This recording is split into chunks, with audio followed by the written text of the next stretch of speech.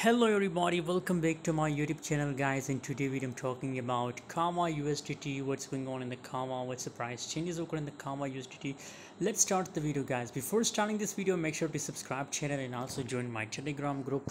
Link is available in video description if you want to join now. So must join guys because on telegram i'm 24 hour active and i share latest update only on telegram.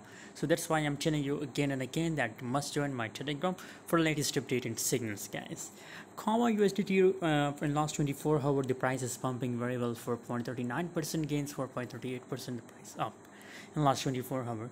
So what should we do right now situ situation guys? What's the current scenario for Kava USDT guys. If you look here so still scenario is looking good guys and it's looking so bullish.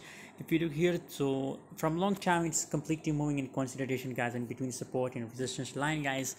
So but currently if you look here the trend is changed guys. Now you can see it make a breakout here with this. So now the trend is looking upward guys. So that's why you know currently scenario for Kava USDT coin that the price will goes up to one US dollar guys the price will goes to one US dollar guys that's my personal prediction about Kava USDT what's your opinion? Please share in the comment box. And for more update join now telegram group